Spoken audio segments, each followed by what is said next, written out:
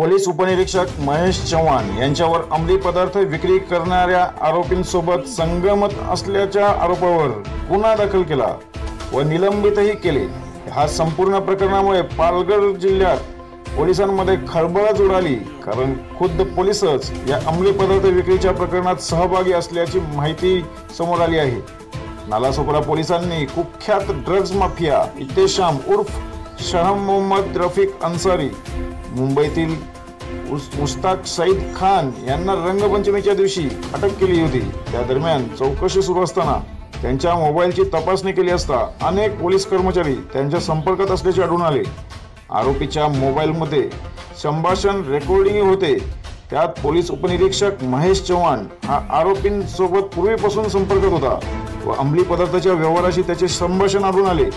या संपूर्ण प्रकरणाची दखल घेऊन त्यावर गुन्हाही नोंद करण्यात आला आहे. या प्रकरणात आणखी काही मोठ्या अधिकाऱ्यांची नावे येण्याची शक्यता असून या संदर्भात मात्र माहिती देण्यासाठी अधिकारी धजावत आहेत.